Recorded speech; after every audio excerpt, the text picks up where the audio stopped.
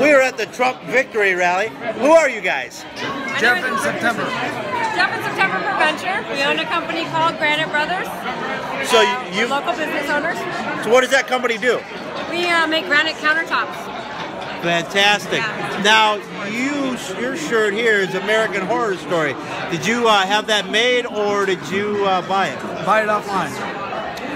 And you've got Hillary Online. for prison, offline, online. Now, what is it about Donald Trump that you guys like? I'm a business owner. He's a business owner. I believe that he can take us to the, basically a better prosperity. I, I don't think that Hillary, look, Hillary Clinton's been in office for I don't know how many years, and she's been in public office or in public view for a very long time, and she hasn't done anything. My All single- she's done is steal from people. My single favorite thing about Donald Trump is his honesty.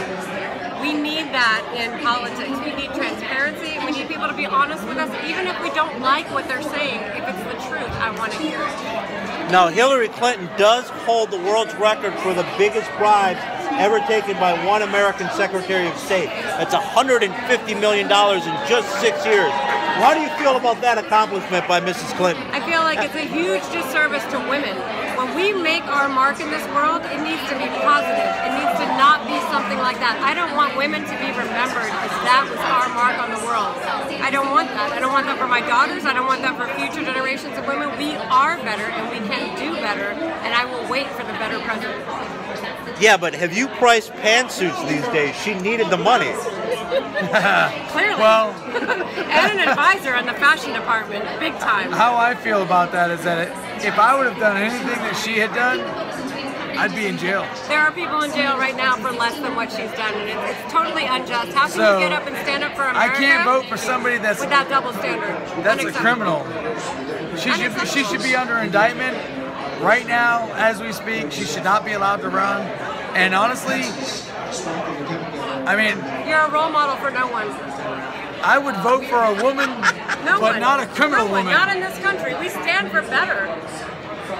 So lock her Uh, Now. That Today. wasn't practice. That just comes out That's why naturally. it's Hillary for prison 2016. We don't want to wait for 2017. We want it now. and by the way, this is my horror story. We're counting on. Trump to make sure this doesn't come true for America. Thank you guys. We have to wrap it up. You're watching Tim's TV. We are at the Trump victory celebration. By the way, the national media won't do it, but I will. I am calling it for Donald J. Trump. All the way.